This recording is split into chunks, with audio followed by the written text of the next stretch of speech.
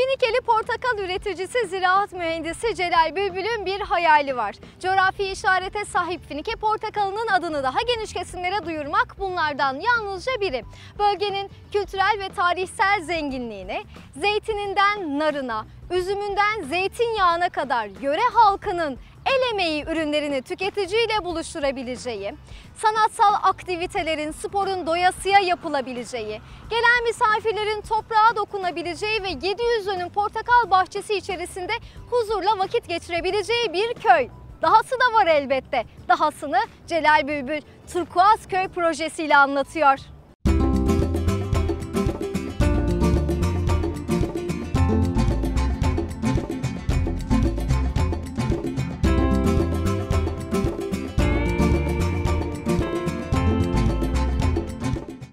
Başarılı pek çok proje önce hayalle başlıyor. Doğayla tarih iç içe geçiyor. Portakal başkenti Finike'de yöre kalkınmasına destek vermek üzere Turkuaz Köy projesi hayata geçiriliyor. Fikir babası Celal Bülbül 1900'lü yılların başında dedelerinin diktiği portakal ağaçlarına sahip çıkan, daha iyi ne yapabiliriz'i sorgulayan bir ziraat mühendisi. Narenciye için konuşursak 3. jenerasyon portakalcı oluyoruz aile olarak. Ee, ve bunu da e, önümüzdeki e, dönemlere de taşımak istiyoruz, devam etmek istiyoruz.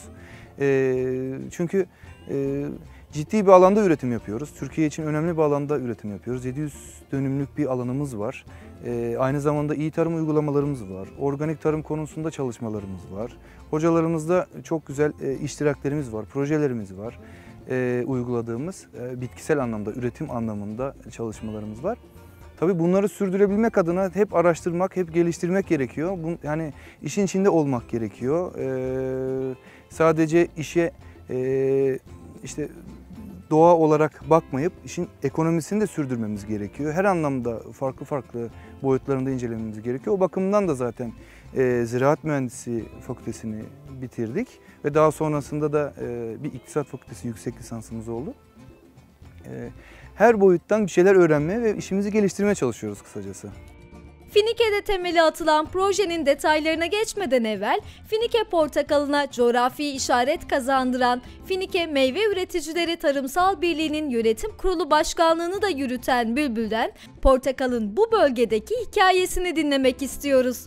Finike portakalı olarak e, ilk söylememiz gereken şey e, bizim bu konuda bir coğrafi işaret almış olmamız. E, coğrafi işarette temelinde e, bir ürünün e, bir yöreye özgü olması ve o e, yörede ve ulusal konumda bir ünü, bir meşhurluğu olması gerekiyor ki Finike portakalı bu kapsamda e, bu coğrafi işareti çok uygun bir e, ürün. E, özellikle de Antalya içinde bakarsanız e, belki de tek e, coğrafi işaret almış ürün e, Finike portakalıdır. Çeşit olarak e, göbekli portakal dediğimiz Washington Novel cinsidir. İnce kabuklu olması, e, cildinin biraz daha pürüzsüz olması ve e, kuru madde dediğimiz e, Brix oranıyla şeker oranının, asit oranının dengeli olması gibi gibi e, çok önemli parametrelere sahip. Finike'nin kuzey, kuzeydoğu ve batısının dağlarla çevrili olmasını, Finike portakalının bu bölgeye has olmasının en önemli sebeplerinden biri olarak görüyor Celal Bülbül. Ovanın alüvyonlu toprak yapısıyla beraber kendine has rüzgarı, havası ve suyu da cabası. Narenciye için çok özel bir makro klimadır bu. Fakat tabii e, bütün ovayı makro olarak değerlendirirken bir de e, bölge bazında, e, mahalle bazında, mevki bazında daha mikro anlamda da değerlendirmek gerekiyor. Örneğin Çavdır, Tireşe, Gemezen, Sazovası gibi yörelerde portakalın, Finike portakalının daha daha üstün, daha premium kalitede olduğu bölgelerimizde var. Bunu da söylemek lazım. Bu da çok önemli bir konu coğrafi işaret için. Bu kadar özel bir doğaya sahip olmayla beraber çiftçilerimizin 1950'lerden 60'lardan beri e, çiftçilik yaptığı e, teknikler, kullandıkları doğal ürünler e, gibi faktörler de yaptıkları bakımlar da Finike portakalının meşhur olmasında çok büyük etkendir. Burada 150 ile 200 bin ton Washington cinsi Finike portakalı diyebileceğimiz portakallar yetişiyor. Bu da Türkiye'deki rakamın aşağı yukarı onda biri.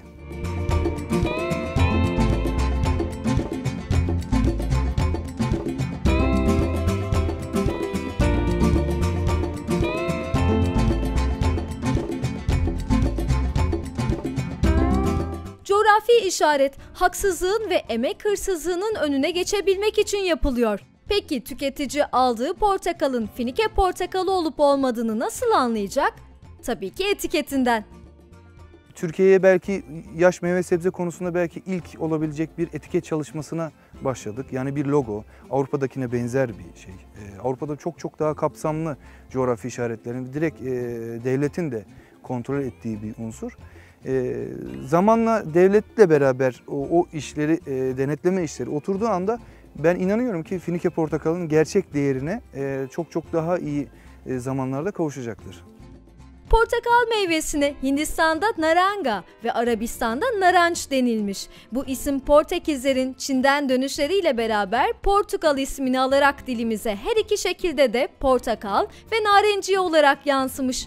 7'den 70'e herkesin büyük bir iştahla tükettiği meyvelerin başında gelen portakal, başta C vitamini olmak üzere A, B, D ve E vitaminlerini içeriyor, vücuda direnç kazandırıyor, güç veriyor, zindelik sağlıyor. Ancak bölgede üretilen tek ürün portakal değil. Finike'de tabii hep portakal konuşuyoruz. Portakal dışında da yöremizde, dağ köylerimizde olsun, Finike'mizin diğer yörelerinde olsun çok özel ürünler yetişiyor. Bu efendim nar olabilir, marul olabilir, zeytin olabilir. Çok farklı ürünler var. Ee, kekik olabilir. Bu yönde bir sürü e, bir geniş bir aslında faunaya sahibiz. Tabii e, ovaya baktığımızda bir monokültür görüyoruz. Sadece bir portakal üzerine bir yoğunlaşma görüyoruz ama bu Turkuazköy projesiyle biz sadece portakalı değil, sadece ovayı değil, dağları, dağ köylerini, e, tarihimizi, antik kentleri vesaire bütün konuları ele alacak şekilde bir e, kendimize vizyon oluşturduk, misyon oluşturduk. Ve dolayısıyla e, bir işi e, daha bütün düşünürken burada bir birey üzerine değil, projeyi bir Finike'nin projesi olarak ortaya çıkarttık. İşini iyi yapan, işini severek yapan, mesleğini bir sonraki jenerasyona aktarmayı hedef olarak görmüş arkadaşlarla e, ufak ufak iştirakler yapıyoruz bütünleşiyoruz. Bülbül ailesinin ya da Celal Bülbül'ün değil, Finike'nin projesi olarak ortaya çıkartmak istiyoruz. Finike'nin portakalı kadar meşhur dağları, gizemini kaybetmemiş antik kentler ve koylar keşfetmenizi bekliyor olacak burada. Burası Limra Antik Kenti ve Gökçay'ın eşsiz manzarasında çevreci ve sürdürülebilir bir doğal yaşam köyü olarak tasarlanıyor. Adını da Türk kültüründen alıyor. Hem mavimiz var hem yeşilimiz var. Ee, bir turkuaz rengi ortaya çıkıyor. Bir de kelime anlamı olarak da ayrıca Türk demek, turkuaz e, Türk köyü demek. Burada hem Finike'ye özgü hem Türk kültürüne özgü bir takım bir şeyleri e, canlandırarak, e, unuttuğumuz şeyleri hatırlayarak, e, onları daha güzel bir şekilde sunarak e, burada güzel bir e, köy, e, bir yaşam köyü, bir yaşam alanı hem Finikeli misafirlerimiz için hem de dışarıdan gelen e, misafirlerimiz için güzel bir ortam yaratmaya çalışacağız. Varlığı M.Ö. 5. yüzyıldan beri bilinen Işık ülkesi Likya'nın başkentliğini yapmış Limra Antik Kenti, 1216 metre yüksekliğindeki bir tepenin eteğine kurulmuş. Milattan sonra 141 yılındaki büyük depremden geriye tiyatro ve mezar anıtı kalmış. Medeniyet tarihine şahitlik etmek önemli diyor Celal Bülbül. Bunun kültürel bir zenginlik yarattığının da altını çiziyor. Hemen arkamızda e, gördüğümüz e, bölgede Limira Antik Kenti mevcut. Bizim için özel olabilecek şu anda çok güzel bir antik tiyatrosu var. Likya'nın da aynı zamanda başkentliğini yapmış bir e, şehir olma özelliği de var. Ve çok ciddi hem zeytin ve zeytinyağı ticaretiyle olsun çok büyük ekonomik e, altyapıya ve ticaret altyapısına sahip bir şehir. Yaptığımız çalışmalarda Limira'nın, Likya'nın hep ön plana çıkmasını sağlamak. Bu bizim için güzel bir değer olduğunu tekrar anlamaktır esasında.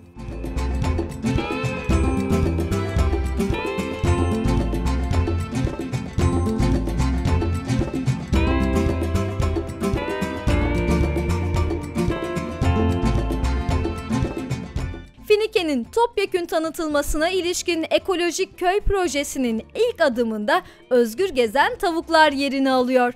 Doğal ortamda bir tavuk çiftliği, özgür gezen tavuk çiftliği kurmak oldu. Ve bunu da e, Kemal Düzel diye bir arkadaşımızla beraber, mesleği tavukçuluk olan arkadaşlarımızla beraber işe başladık. E, çok özel cins eti lezzetli, yumurtası lezzetli özel cinsler yetiştiriyoruz. Tavuklarımız e, vitamin, hormon gibi ürünlerle beslenmiyor. E, normal arpa buğdayın haricinde portakallarla, avokadolarla besleniyor. Kültür sanat aktiviteleri Ekolojik Köy projesinin önemli bir aşamasını teşkil ediyor. Mehmet Özkan arkadaşımızla e, çok özel bir konu olan mozaik sanatı üzerine beraber çalışmalar yapmaya başladık. E, hem kendisi Turkuazköy'de eğitim verecek hem de burada ürünlerini e, internet üzerinden veya buraya gelen misafirlerimize sunma şansı olacak. Spor da olmazsa olmaz. Gökçay kenarında 2 kilometrelik yürüyüş, koşu, bisiklet parkuru bulunuyor. Burada Gökçay'ın hafif akıntısı ve esintisiyle beraber kano yapılabiliyor. Mehmet Özkan arkadaşımız da zaten e, kendisi e, bisiklet tutkunu. E, Finike'de de bu konuda bir grubu var.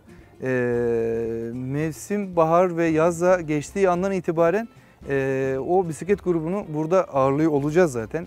Burada da aşağı yukarı bu e, Gökçay kenarında 2,5 kilometrelik bir e, yürüyüş yolumuz var.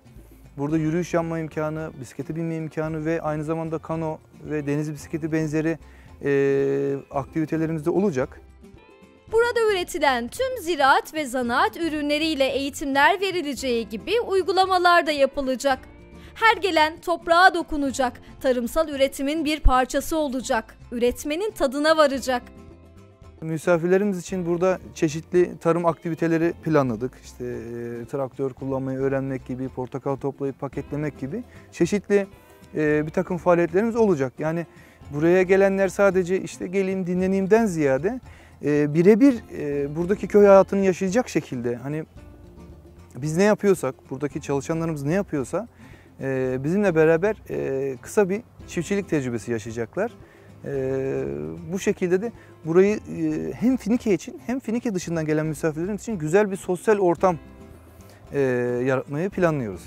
Mutfağa girip reçel yapacaklar, ekmek yapacaklar. E, kimin neye göre merakı varsa herkes kendine göre bir şeyler bulacak burada inşallah.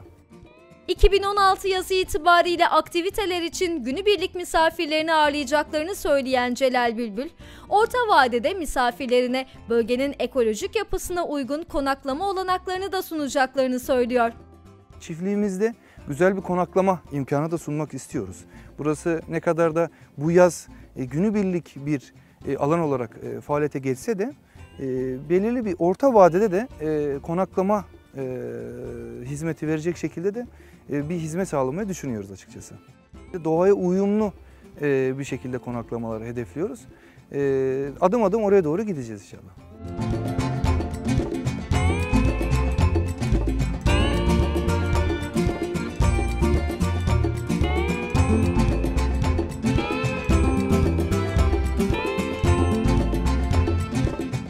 Dağda kendi halinde yetişen zeytinlerden geleneksel yöntemlerle zeytinyağı üretilip Likya'nın başkentliğini yapmış ticaret kenti Limra'nın binlerce yıllık tarihine de dikkat çekilmiş oluyor. Bu sene dağ zeytinlerinden topladık. Ee, hiç e, bakımsız, tamamen dağda kendi kendine yetişen zeytinlerimizden topladık. Ee, ve bunları bir zeytinyağına çevirdik. Ve bunların da satışına başladık. Bu hani e, çok büyük bir e, sanayileşmek adına demiyorum da bu değerleri tekrar hatırlamak anlamına. Çünkü burada çok önemli bir zeytinyağı ticareti var olduğunu biliyoruz. E, bunları tekrar ortaya çıkartma adına. Finike portakalı internet üzerinden sipariş verildiği anda dalından mı özenle toplanıp hiçbir işlem görmeden en doğal haliyle paketlenerek kargoya veriliyor. Zeytinyağı yanı sıra yine bu coğrafyada yetişen meyvelerden üretilen reçeller, salçalar da internet sitesinde kendine yer buluyor. Online olarak satılıyor. Celal Bülbül sözlerinin sonunda bölgesel kalkınmaya katkı önceliğiyle hizmet vermeye devam edeceklerinin altını çiziyor. Hedef tabii ki de e, Finike'nin kırsal kalkınmasına destek olmak ve tabii bunun için bizim birçok amacımız var ve birçok aracımız var onunla beraber. Sadece portakal üzerine bir e, satış sayfamız vardı. Bu diğer hizmetlerimizi bütünleştirerek bunu taşımış olduk. Buraya geldikten sonra, e, buradaki e, ürünleri tattıktan sonra e, geri döndüklerinde İstanbul'a, Ankara'ya, Bursa'ya kendi şeylerine döndüklerinde muhakkak bu ürünleri e, tekrar satın alma imkanları olacaktır. Ekonomik destek sağlamak adına bizlerle beraber üretim yapmak isteyen Finikeli dostlarımıza ve e, özellikle yaz aylarında e, rotası Finike üzerinden olan misafirlerimize hem e, dinlenme anlamında hem üretme anlamında e, Turkuazköy hem Finike'ye hem de e, bütün Türkiye'ye açık şu anda.